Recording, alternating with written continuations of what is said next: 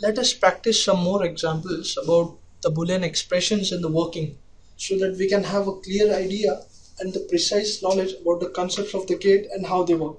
First example, let alpha be the boolean expression then its circuit diagram is defined as follows. Okay? If alpha is a x dash that is if the output is x dash the complement of input therefore we require a NOT gate that is by looking at the boolean expressions we can also find out what gate can be used to obtain these expressions. Similarly if alpha is x plus y that is here the plus is given. The plus operation is obtained by addition that is OR gate is required here. Therefore if the boolean expression output is x plus y then its circuit diagram is given by OR gate similarly if alpha that is the output is xy then the circuit diagram is given by an AND gate. As the AND gate performs multiplication and from this equation it is clear that xy the multiplication is output. Therefore the AND gate is used here. And last but not the least if alpha is beta dash that is if beta is the input and the output alpha is beta dash therefore we can clearly have a clear picture about the circuit or the gate to be used. The gate used here will be a NOT gate. Let's take other example of the circuit. But to find out the boolean expression if alpha is beta x that is one input is beta and the other input is x and if the output is beta into x that is the multiplication then the circuit diagram is obtained using a NAND gate. This NAND gate and the output can be beta x which is the multiplication of the two inputs. These are some more examples to clarify the concept of the working of the gates. Alpha is beta plus x then the circuit diagram is OR gate. If alpha is beta into gamma that is multiplication then we can use AND gate with one input as beta and the other input as gamma. Similarly if alpha is beta plus gamma that is OR multiplication we can use OR gate now let's take another example. Now in today's world cost cutting is of course a very important factor. Every company would like to design a product which might be having the minimum cost and the maximum benefit. Then why can't we do the same use or we can why can't we follow the same purpose while designing a gate or while designing a circuit? So if we are designing a circuit using the gates the most brilliant idea is to use the minimum number of gates to get the required number of outputs. That is less the number of gates used in the circuit the simple is the circuit plus less the number of gates used the less is the cost for the circuit. Therefore it is often preferred to have a circuit which is very economical plus also the circuit should be very much simple to understand and design to for this reason we often perform the minimization of the circuit let us take the example uh, where we can show how the circuit or how the minimum circuit can be drawn plus in this topic we will also study how the simplification of the circuit can be done. Let us take the example of alpha equal to xy dash plus x dash y. Uh, it is clear from the circuit that we require one input as x, the other input as y, plus that is we require an OR gate. And since there are x dash and y dash, we also require the complements of x and y. That is, the total number of gates required here will be an OR gate to obtain the complement of x and y, x and y, uh, OR gate, uh, sorry, a NOT gate to obtain the complement of x and y, an OR gate to obtain the addition of x y dash plus x dash y, and the third gate required here will be an AND gate, that is to bow to perform the multiplication of x y dash and x dash y. So after going through this we can have a simple idea how the circuit can be designed which shows x bar this is y x bar y similarly x y bar. This x y bar. To obtain this that is to obtain plus we require an OR gate and the circuit becomes x bar y plus x y bar. Therefore, to simplify the circuit, we can draw the same given circuit like this. Now let us study a theorem. Theorem for the combinational circuit as uh, I have shown you or as I have spoken to you about the minimization of the circuit or the simplicity of the circuit we'll first study the theorem which states that two combinational circuits C1 and C2 having inputs x1 and x2 xn and a single output are equivalent if and only if the boolean expression C1 is equal to the boolean expression C2 that is even though we have a circuit with less number of gates and the other circuit with more number of gates for example in this figure C1 is having less number of gates and C2 is having more number of gates this C1 is equivalent to C2 if the output of C1 is equal to the output of C2 that is the boolean expression for C1 and C2 both should be same to obtain the output. So we'll have a detailed study about this circuit how the circuit works for this circuit. Let's find out the output for this circuit. Output the first input is x and the other two inputs are y and z. Okay? Since x is given to the inverter then the out then the output for this inverter will be x bar which will again go here and be the input to this AND gate. Similarly let us come to this gate y and z. Now this y is y plus z the output for this OR gate gives y plus z which is again the input for AND gate. So the total output for this circuit is x bar into y plus z which is seen here x bar into y plus z.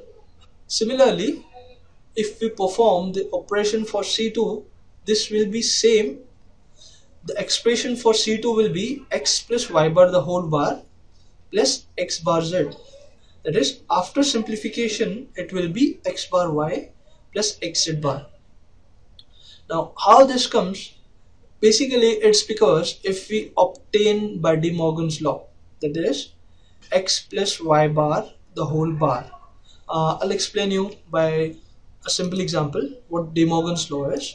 Now the De Morgan's law states that if a plus b okay if if a plus b is having a bar then the De Morgan's law states that a plus b the whole bar is equal to a bar into b bar.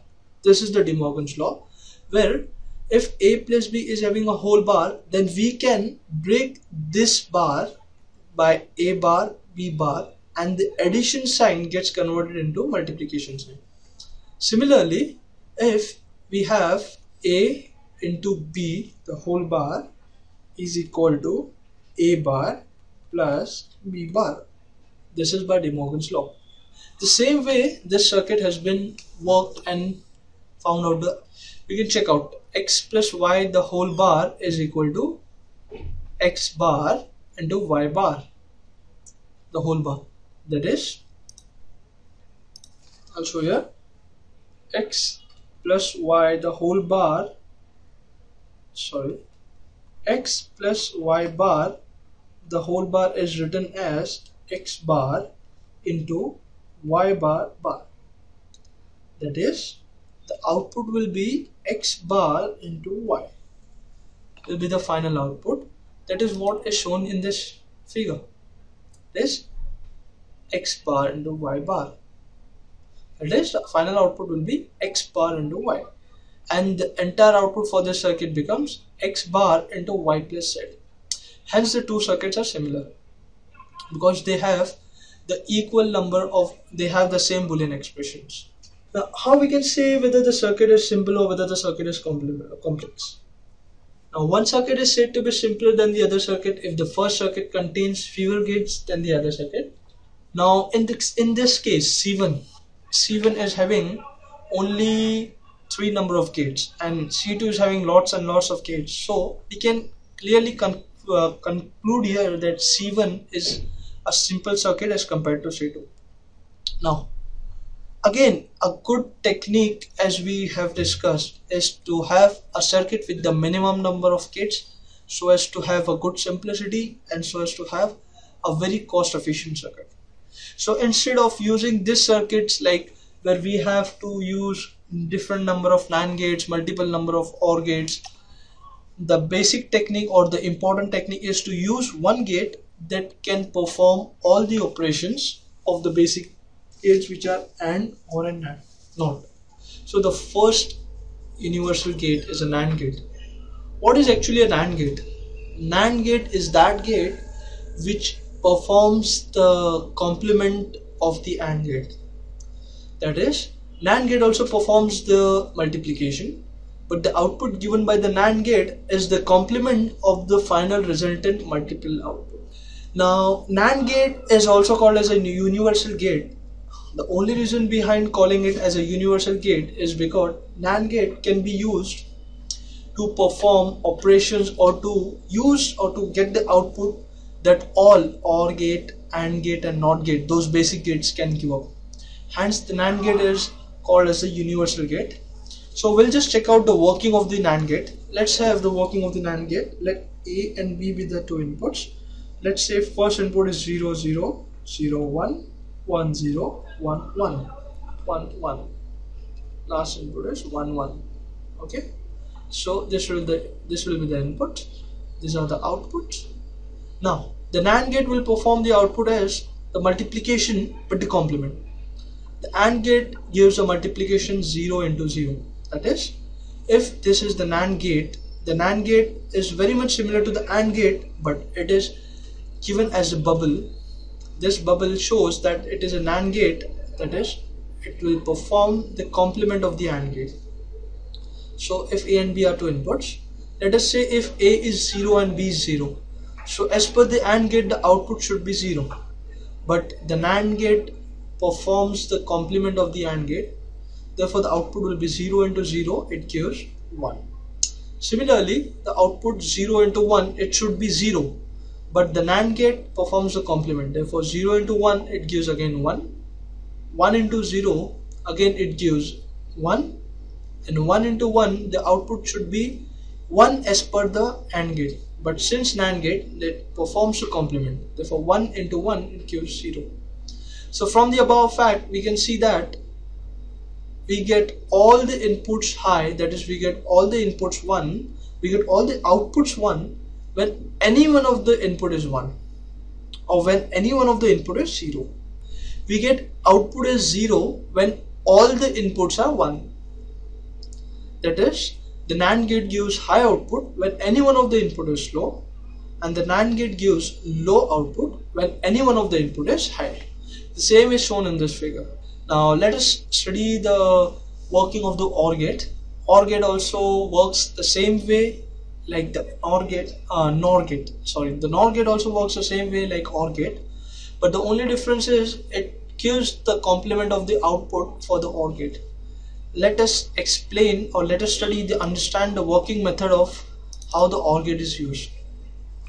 Let us say the two inputs of the OR gate. This is the symbol for the OR gate. Here the bubble now this is symbol for the OR gate. This bubble denotes the complement of the OR, no, OR gate. This is an OR gate. Let A and B are the two inputs. A B.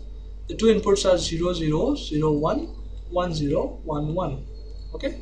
Let us take the output. 1 1 so as per the OR gate the addition should be 0 plus 0 I'll draw the truth table of the OR gate. 0 0 0 1 1 0 1 1 this will the output. To 0 1 1 1 OR gate and this is for OR gate. But it performs the complement of the OR gate. Therefore 0 plus 0 it gives 1 0 plus 1 it gives 0 1 plus 0 it gives 0 and 1 plus 1 it gives again 0 that is from the truth table we can check out for the OR gate. OR gate it gives exactly complement of the NOR gate. That is vice versa. That is in OR gate the 0 plus 0 the output is 0 but in NOR gate the 0 plus 1 the output is 1 similarly in NOR gate 0 plus 1 the output is 0 1 plus 0 the output is 0 and you can check out from this OR gate outputs and NOR gate outputs. Hence OR and NOR gate are complement to each other. And NOR gate is also called as a universal gate because we can perform all the operations using NOR gate we can perform all the operations using NAND gate these two gates can perform the operations which are performed also by the basic gates. Hence they are called as universal gates